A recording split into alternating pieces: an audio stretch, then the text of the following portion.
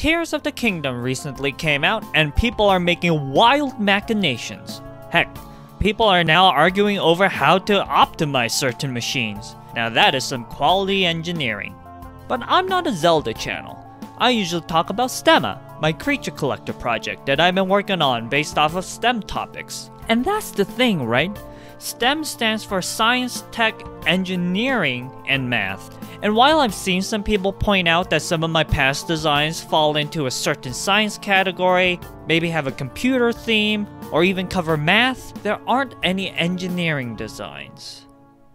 Or are there? Here's the thing. Engineering is about using science concepts and topics to overcome a certain problem. So many times where there is an engineering-based design, the science behind it comes to mind first when thinking of the design's concept. For example, my Ventaworm references Vantablack, which are carbon rods that are engineered to absorb over 99.9% of light. Chipu shows off waveforms, especially the ones that were engineered to deliver sound in the days of limited hardware. But there are some tools and machines found in engineering that can probably make creature designs on their own, so we'll be diving into mechanical engineering today and go over a three-stage line I made based off of simple machines. Simple machines are defined to be made up of few parts that can still change the direction and or magnitude of the force you're applying. There are six simple machines defined since the Renaissance time period.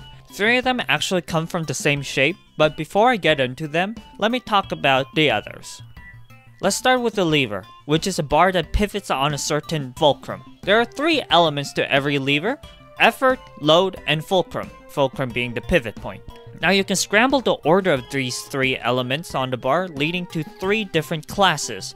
In class 1, the fulcrum is between the effort and load. When you apply force downwards, the load would go up. Mechanical advantage would vary. Class 2 has the load in the middle between you and the fulcrum, which should make it easier for you to lift the load, even if the load isn't lifted as high as you're holding it. Still, this makes a mechanical advantage of more than one. And lastly, class 3 is your effort going into the middle, which is going to require more from you to lift the load up, yielding a mechanical advantage of less than 1. Wait, wait, wait. What is this mechanical advantage I keep yammering about? With any machine, the mechanical advantage is how much the machine amplifies your force. Now, energy is still conserved in these machines, you're still doing the same work with or without the machine, but you're putting in less force over a long distance to exert a lot of force over a short distance. So when I say distance here, it should usually deal with the distance of your effort versus how the load moves. If it makes your force weaker, then that's a mechanical advantage of less than 1, and if it makes your force stronger, that's a mechanical advantage of more than 1. But a good machine doesn't always have to have a high mechanical advantage. A good machine just needs to get the job done. For example, despite Class 3 having less than one mechanical advantage, that's how tongs, hammers, and even your arm muscles are organized so that you could lift stuff with your hands. The load has to be on the other side, and sometimes you can't have the pivot point in the middle all the time. Sometimes you need those different classes of levers, depending on the problem you're facing. Alright, so you rotate a wheel and the axle converts that into directional movement. Mechanical advantage depends on how thick the axle is compared to the wheel size and what you're turning.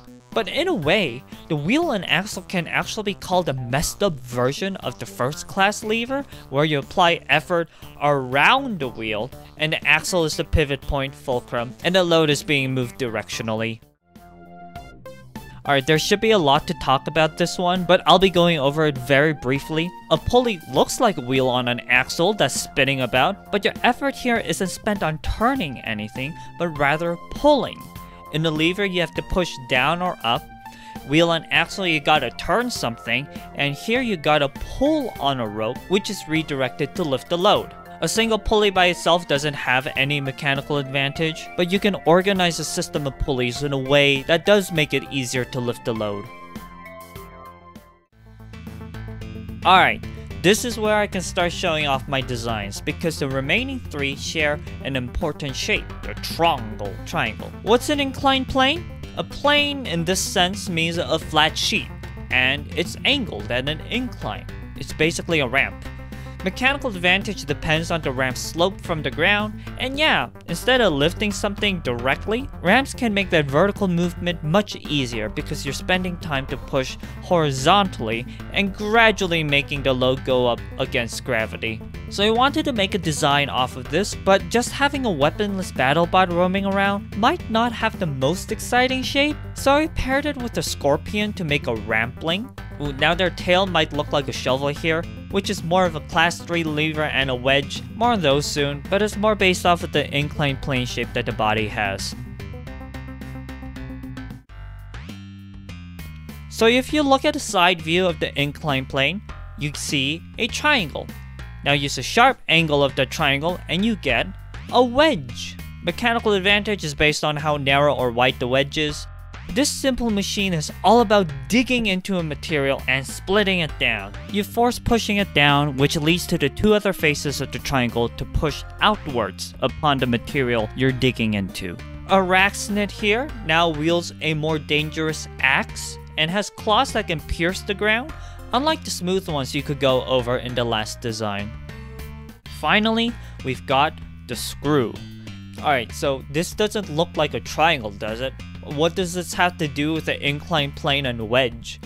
Well, take that triangle and wrap it around a pole. And now you've got a screw. Look, if we're gonna call a wheel and axle a simple machine, despite being a version of a lever that spins, screws are basically an inclined plane that spins.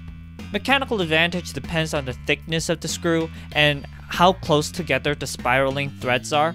So here's my final stage Screwpion.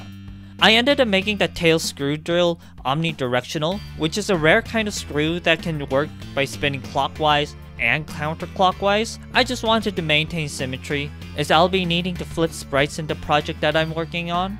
And there's a thought in the back of my head to make them on, or specifically being clockwise or counterclockwise matters, but I don't know. It's a lot of work to implement that.